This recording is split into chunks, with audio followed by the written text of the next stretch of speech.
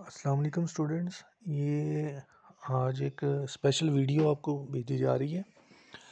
इसको ज़रा आपने ध्यान से सुनना है।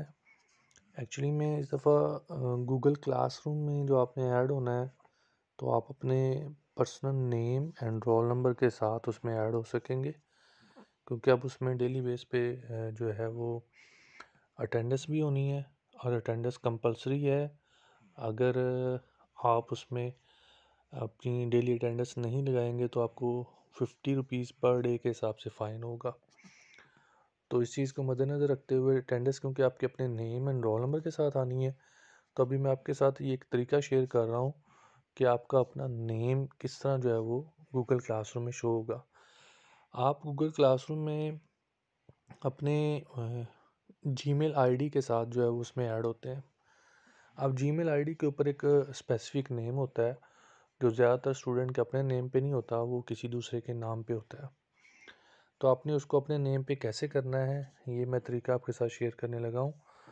आपने अपने मोबाइल फ़ोन में ये जीमेल ऐप है जो आपने इसमें जाना है। जीमेल आप ओपन करेंगे। आप जैसे इसको जीमेल को ओपन करते हैं तो उसमें ये ऊपर जहाँ पे ये एक एम लिखा हुआ है यहाँ पे ये बेसिकली पूरा उसका नाम आ रहा होगा, जैसे मोहम्मद शफीक आपके सामने लिखा हुआ आ रहा है। तो ये नीचे इसके आ रहा है गूगल अकाउंट आपने इस गूगल अकाउंट को ओपन करना है। गूगल अकाउंट को जब ओपन करते हैं तो ये स्क्रीन आपके पास ओपन हो जाएगी। इसमें पहला होम है और उसके बाद पर्सनल इन्फो है। पर्सनल इन्फो में जाएँगे आप। इसमें सारी चीज़ें आ रही हैं और फिर उसके बाद नेम जहाँ पे लिखा हुआ है।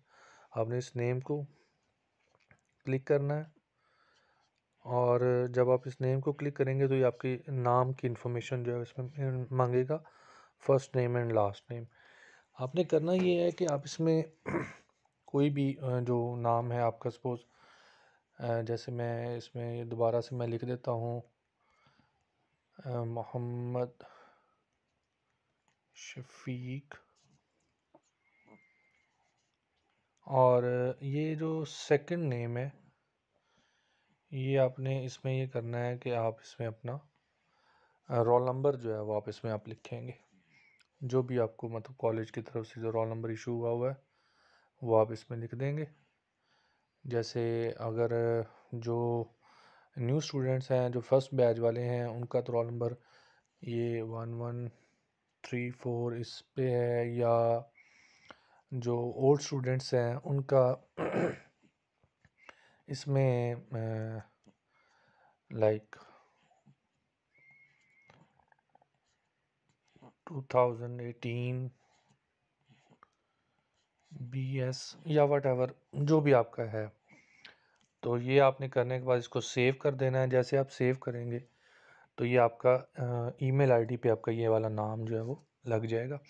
हाँ एक चीज़ के आपने सिर्फ़ वही जीमेल आईडी का ये पर्सनल इन्फॉर्मेशन में अकाउंट चेंज करना है, जो जीमेल आईडी आप गूगल क्लासरूम के अंदर इस्तेमाल कर रहे हैं।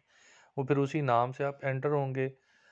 अगर आपके नाम की उसमें जीमेल ऐड होगी तो आपको उसमें ऐड रहने दिया जाएगा अदरवाइज़ आपको उसमें से रिमूव कर दिया जाएगा। सो प्लीज़ इस बात को इंश्योर करना है आपने कि आपने अपनी जो जीमेल आईडी है, वो अगर किसी और के नाम पे है तो उसको आप अपने नाम पे चेंज करेंगे। कैसे चेंज करना है, इसका तरीका मैंने आपको इस वीडियो में बता दिया है। तो ये आपने लाजमी कर लेना है। क्लास कोड आपको इन जो है वो गूगल क्लासरूम के लिए कल तक सेंड कर दिए जाएँगे। और कल क्लास, जैसे ही आपको क्लास कोड आता है तो आपने फ़ौर से गूगल क्लासरूम के अंदर उसको एंटर करके तो क्लास में ऐड हो जाना है। तो फिर इन आपकी जो है ना वो परसों से क्लासेस जो है वो ऑन बोर्ड हो जाएँगी इन कोई अगर इशू हो तो आप पूछ सकते हैं। जजाकल्ला खैर।